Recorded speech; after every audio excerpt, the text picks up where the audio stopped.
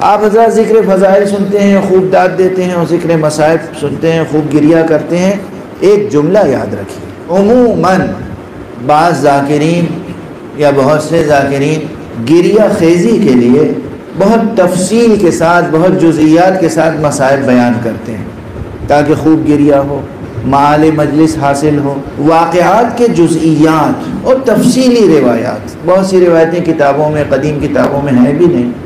उन रिवायात का हाल ये है कि मरसिया निगारों ने अपने ज़ोर तखयल से एक तसर पैदा करने के लिए कुछ वाक़ात नज़म कर दिए। उन वाक़ात को तारीख़ में तलाश करेंगे तो नहीं मिलेंगे। मख्तल की किताबों में तलाश करेंगे तो नहीं मिलेंगे। वो शुरा ने मरसियों में नज़म किए।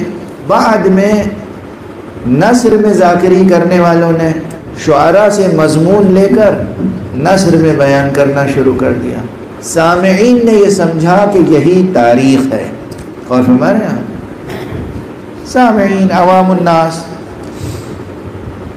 जिनका मैदान तारीख़ी तहकीक नहीं है, जिनका मैदान करबला के वाक़ात की तहकीक नहीं है, अगर वो तारीख़ के स्टूडेंट या रिसर्चर हैं भी, तारीख़ के स्कॉलर हैं भी तो उनका मैदान अलग है, अहद अलग है।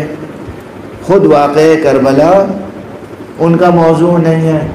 तो उन्होंने नसर में ये मतालब सुनकर और ये समझा कि यही तारीख़ है। वो तारीख़ नहीं है, तारीख़ वो नहीं है। और फिर ऐसे वाक़ात में, ऐसी जुजियात में जो शुरा ने नज़म की हैं, बाज़ जुजियात ऐसे हैं कि जहाँ शान अहल बैत में गुस्ताखी हो जाती है। दस्त अदब जोड़ के अर्ज़ कर रहा हूँ। पहले ही अर्ज़ कर चुका ये सिर्फ़ दो जुमले काफ़ी हैं कि इंसान जान दे दे। समझ रहे हैं वाक़ात की जुजियात पर गिरिया करने की आदत छोड़ दीजिए। दिल में वो इज़्ज़त, वो अजमत पैदा कर लीजिए आका हुसैन के नाम नामी के साथ। वो मारिफत पैदा कर लीजिए, वो दर्ज इश्क पैदा कर लीजिए कि नाम हुसैन के लिए के लिए काफ़ी हो। और बहुत सो बहुत से हजरात के लिए एक कैफियत है। बहुत से हजरात के लिए ये कैफियत है।